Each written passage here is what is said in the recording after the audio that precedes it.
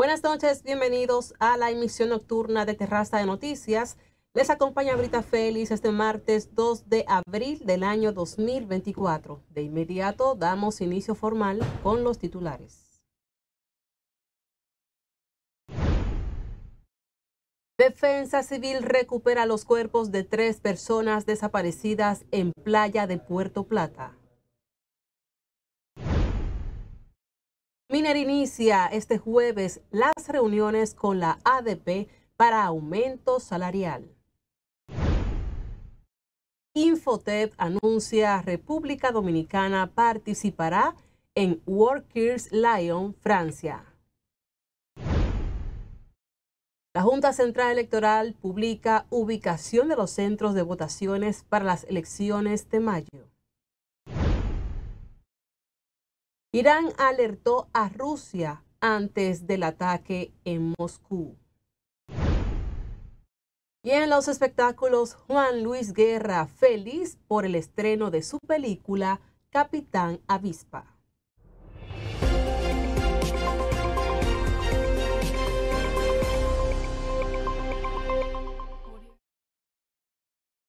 Iniciamos con la primera información de esta noche y es que buzos de la Defensa Civil recuperaron este martes los cuerpos de las tres personas que desaparecieron el pasado domingo en aguas de la playa Marapica o el Bronx en esa provincia, según informó el director ejecutivo de la institución Naranja, Juan Salas. El primer cuerpo fue recuperado alrededor de las 7.05 de la mañana en alta mar en hora después fue localizado el segundo, mientras que el tercero se recuperó pasado el mediodía. Esto debido al fuerte oleaje. Los reportes emitidos por el director provincial de la Defensa Civil en Puerto Plata detallan que el equipo de rescatistas buscó por horas a Brianni Díaz, de 29 años, y quien fue voluntariado de la institución, también el joven Anderson González Tejeda, de 17, proveniente del sector La Otra Banda en Santiago y a José Alberto Chevalier de 29 años.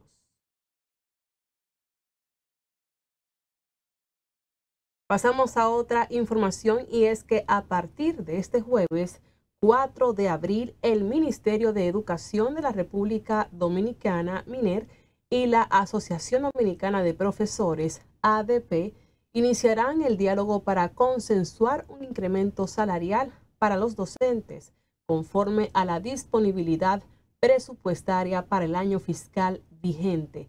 El compromiso fue establecido en el Acuerdo por la Defensa y Derecho a la Educación que el gobierno y el gremio magisterial pactaron el 24 de julio del año 2023 con la finalidad de garantizar una enseñanza de calidad en las escuelas del sistema público preuniversitario y un ejercicio docente digno. El Ministerio de Educación, Ángel Hernández, afirmó que el inicio de las conversaciones sobre un aumento salarial de los maestros constituye otra muestra de la responsabilidad y transparencia que ha caracterizado a las autoridades en el cumplimiento del acuerdo. En otro tema, el Instituto el director general del Infotet entregó medallas a los ganadores de Work Skill República Dominicana 2023 y WorkIS Chile 2023.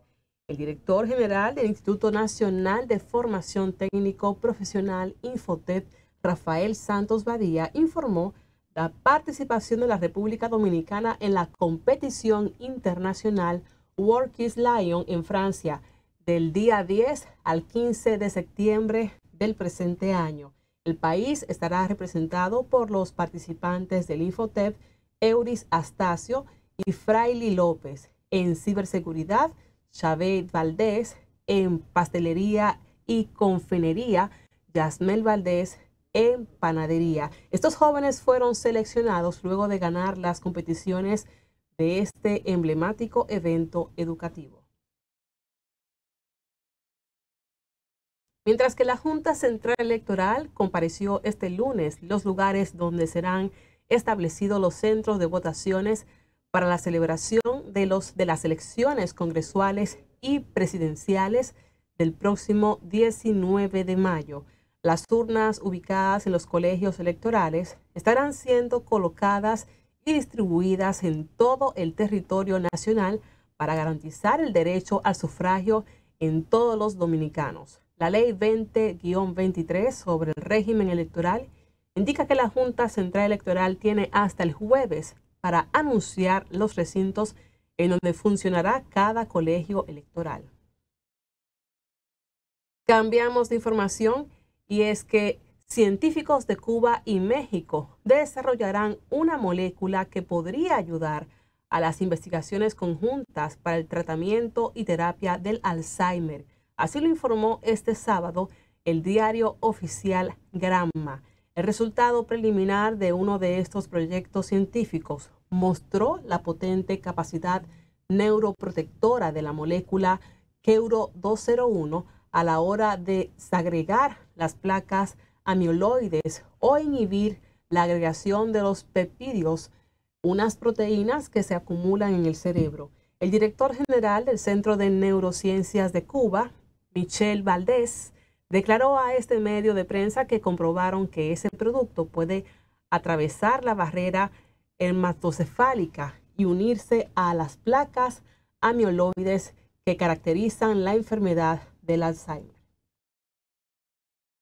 Mientras que ahora pasamos al informe del tiempo y es que para mañana miércoles, aunque el sistema anticiclónico mantendrá un ambiente mayormente estable en la mayoría de las provincias del país, en la madrugada Nubes arrastrarán el viento moderado del este que producirán lluvias débiles, aisladas y pasajeras hacia la Altagracia, El Ceibo, Atomayor, Monteplata, Samaná, María Trinidad Sánchez.